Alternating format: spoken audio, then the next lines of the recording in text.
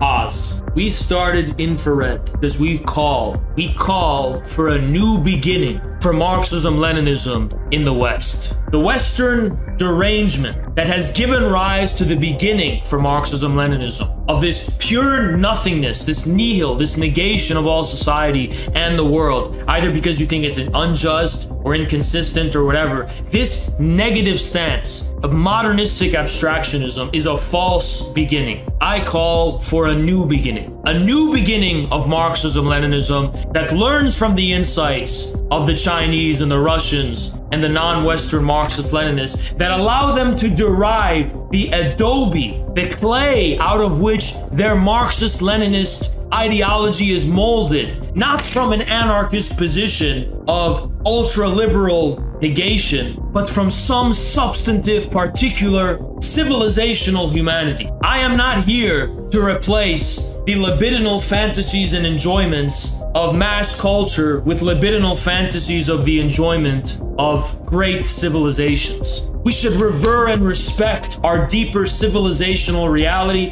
as something phenomenally remote from us rather than proximate. Our civilization is not something we can consume. It is our sublime reality in the face of which we can only carefully, cautiously, but soberly distill into the concrete form of a people's consciousness. The premise of Marxist-Leninists the world over is not the anarchistic abolition of everything. The premise is the determinate, deep, telluric realities of the people, of your people, of the people in the country within which you were born, which you serve, which you've inherited, and of which you belong as a part of a greater whole. We have nothing in common with anarchists. Nothing. Our anti-capitalism has nothing in common. We oppose capitalism because capitalism is anarchist. We don't oppose capitalism because we're gonna just artificially contrive our own society from scratch. We oppose capitalism because the very reality of history, the very reality of the winds of history, of the forces of production, and of the people have outmoded it fundamentally and on a scientific level. That is our stance as Marxist-Leninists in the West. But these Baiswo tankies who are abusing and misusing the legacy of Marxism-Leninism are trying to turn Marxism-Leninism into anarchism with some extra steps. No, no. Marxism and anarchism are qualitatively distinct. As Stalin put it in his own words, anarchism is our enemy. It is the enemy of the working class. We don't share similar principles with anarchists. We don't share the same end goal as anarchists, but with different steps and with different forms. There is a qualitative difference between us. We are human. We believe in humanity. We don't believe in nothingness. We don't believe in nothing. We don't believe in nihil. We believe there's something at the end of the tunnel. We believe there's something there. Even when it seems like capitalism has negated our entire reality, something still survives. Something is still there. We want to heed the call of that something that's still there. That's the beating heart of the people. That's what we as Marxist Leninists represent.